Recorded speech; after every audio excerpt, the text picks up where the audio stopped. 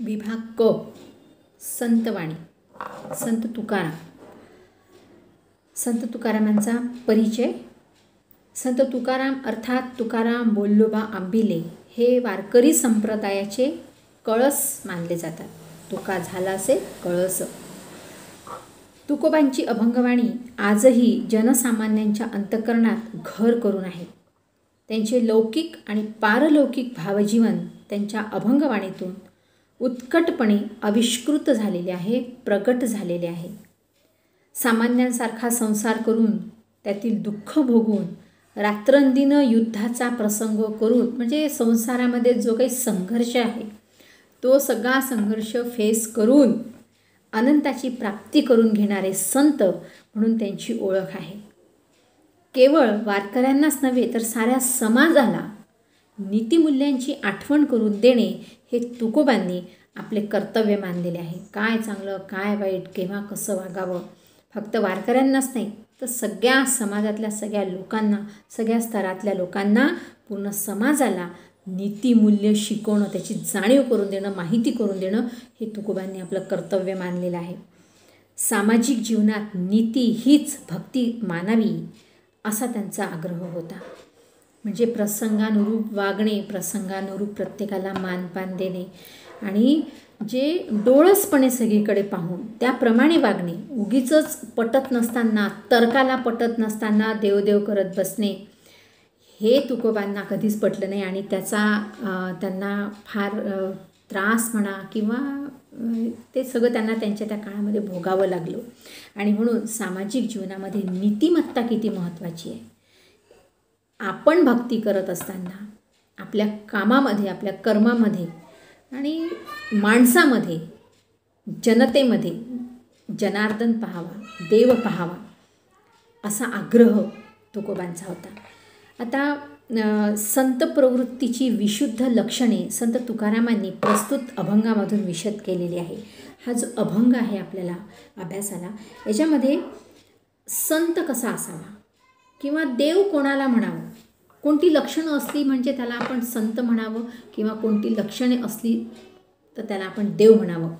हे या भंगामध्ये तुकोबांनी आपल्याला सांगितलेलं आहे. जे का रंजले गांजले त्यासी म्हणे जो आपुले. जे का रंजले गांजले त्यासी म्हणे जो आपुले. तोची साधू ओळखावा देव तेथेची जाणावा. तुकोबा म्हणतात जे काही रंजलेले आहे गांजलेले आहे त्रासलेले आहे पीडित आहे त्यांना जो आपलं म्हणतो त्यांचं दुःख जो दूर करतो तोच साधू. त्यालाच देव समजावं. जे का रंजले गांजले त्यासी म्हणे जो आपुले तोची साधू ओळखावा देव तिथेची जाणा मृदू सबाह्य नवनीत मृदू सबाह्य नवनीत तैसे सज्जनांचे चित्त ज्यासी अपंगिता नाही. ज्यासी अपंगिता नाही त्यासी धरीचो हृदयी. तोची साधू ओळखावा देव तेथेची जाणावा. असं तुकोबा म्हणतात. दया करणे जे पुत्रांसी दया करणे जे पुत्रांसी तेची दासा आणि दासी तुका म्हणे सांगू किती तोची भगवंताची मूर्ती. संत तुकाराम म्हणतात जे रंजलेले आहे गांजलेले आहे बिचारे संकटात आहे अडचणीत आहे त्यांना जो आपलं म्हणतो त्यांच्यासाठी जो धावून जातो तोच खरा साधू तोच खरा देव. मृदू सभाय नवनीत तैसे सज्जनांचे चित्त. ज्यासी अपंगिता नाही त्यासी धरीचो हृदय. संत तुकाराम म्हणतात की लोणी कसं असते? मऊ. अतिशय मृदू असं ते लोणी. त्याप्रमाणे सज्जनांचं चित्त असते. त्या सज्जन लोकांचा साधू लोकांचा स्वभाव कसा असतो? लोण्याप्रमाणे मऊ असतो मृदू असतो. आणि ज्याला कोणी आपलं म्हणत नाही ज्याला कोणी स्वीकारत नाही ज्याच्या दु जवळही कोणी जात नाही त्याला जो हृदयाशी धरतो त्याचं जो दुःख दूर करतो तोच खरा साधू तोच खरा देव. दया करणे जे पुत्रांशी आपल्या पुत्रांवर आपल्या कुटुंबावर तर सगळेच प्रेम करतात. सगळ्यांचेच लाडके असतात आपले पोरं पोरी आपलं कुटुंब. दया करणे जे पुत्रांशी तेची दास आणि दासी. आपल्या पुत्राप्रमाणेच आपल्या कुटुंबाप्रमाणेच आपल्यावर अवलंबून असणारे आपले दास दासी नोकर चाकर जे काही आहेत त्यांच्यावर सुद्धा आपण पुत्रवत प्रेम करत असू. तुकाराम महाराज म्हणतात की तोच खरा साधू तुम्ही समजून जा की तोच भगवंत आहे तीच भगवंताची मूर्ती आहे. म्हणून दया करणे पुत्रांसी तेची दास आणि दासी तुका म्हणे सांगू किती तोची भगवंताची मूर्ती तोची साधू ओळखावा देव तेथेची जाणावा. अशा प्रकारे भगवंत हा काही वेगळा नाही आहे तो काही मंदिरात नाही आहे तो तुमच्या आमच्यामध्येच आहे तुमच्या आमच्यासोबतच तो आहे. आणि आता तुम्हाला माहिती आहे विद्यार्थी मित्रांनो या महामारीमध्ये गेल्या सहा सात महिन्यांपासून आपली अविरतपणे सेवा देणारे आपले विठ्ठल रखुमाई किंवा आपले देव दैवत जे जे आपण ज्यांना ज्यांना आपण मानू सगळे देवळं बंद आहे. सगळे देवळं देव म्हणजे सगळ्या देवळांना कुलूप लागलेलं आहे. त्या देवळातले देव समाजामध्ये येऊन डॉक्टरांच्या रूपाने नर्सेसच्या रूपाने स्वच्छता कर्मचाऱ्यांच्या रूपाने पोलीस दादांच्या रूपाने प्रशासनामध्ये जे काही आपली काळजी घेणारे लोक आहे जे कळवळून आपल्याला सांगतात आहे त्या प्रत्येकाच्या रूपाने तो परमेश्वर तो देव तो भगवंत जणू तुमच्या आमच्या भोवती वावरतो आहे याची प्रचिती कधी नव्हे ती आपल्याला या काळामध्ये आलेली आहे. आणि म्हणून सगळे या महामारीने रंजलेले गाजलेले कष्टात असलेले हे सगळे लोक तुमच्या आमच्यासारखे त्यांना ओळखून त्यांची सेवा करून स्वतःच्या जीवाची पर्वा न करता ज्यासी अपंगिता नाही ज्याला कोणी स्वीकारत नाही ज्याला कोणी आपलंसं म्हणत नाही नुसतं माहीत जरी झालं की या घरात ताप खोकला येणारा माणूस आहे तर त्या घरातही आपण जात नाही. त्याला आपण स्वीकारत नाही.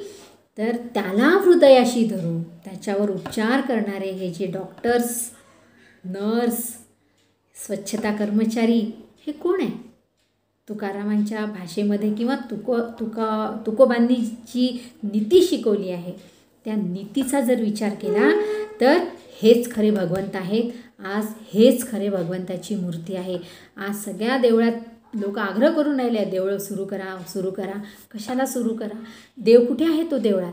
कुठे करमणार आहे त्याला? त्याचे सगळे भक्त जेव्हा अशा प्रकारे संकटात आहे टेन्शनमध्ये आहे तो तणावामध्ये आहे तर तो कसा तिथे राहील? तो आज आपल्यासोबत आहे तुमच्या आमच्यासोबत तो वावरत आहे. ह्या सगळ्या कोरोना वॉरियर्सच्या रूपात. आणि म्हणून संत तुकोबा म्हणतात की दया करणे जे पुत्रांसी त्याची दास आणि दासी मृदू सबाह्य नवनीत तैसे सज्जनांचे चित्त जे कारंजले गांजले त्यासी म्हणे जो आपुले. तोची साधू ओळखावा देव तेथेची जाणावा. आणि तुकोबा म्हणतात शेवटी की तुका म्हणे सांगू किती तोची भगवंताची मूर्ती. तर अशा प्रकारे भगवंत हा ह्या सेवा करणाऱ्यांमध्ये आहे. सेवा करून घेणाऱ्यांमध्ये नाही. भगवंत हा सेवा करतो हा तुमच्यासोबत असतो. जिथे कुठे तुमचा कोणी स्वीकार करत नाही तिथे मोठ्या मनाने तो तुमचा स्वीकार करतो तुम्हाला हृदयाशी धरतो तो खरा भगवंत. तर अशा प्रकारे संत प्रवृत्तीची विशुद्ध लक्षणं संत तुकारामांनी या अभंगामधून विशद केलेली आहे. आजच्या या महामारीच्या काळामध्ये आपण त्याचा त्याची तुलना जर केली तर आपल्याला लक्षात येईल की किती दूरदृष्टीचा किती द्रष्टा संत होता. संत तुकाराम महाराज.